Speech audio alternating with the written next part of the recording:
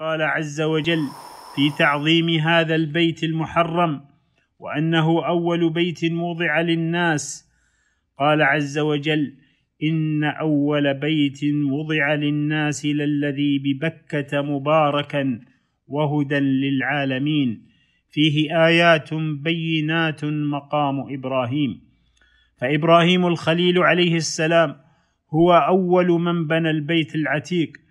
كما ثبت ذلك في مسند الإمام أحمد وفي الصحيحين عن أبي ذر رضي الله عنه قال قلت يا رسول الله أي مسجد وضع أول؟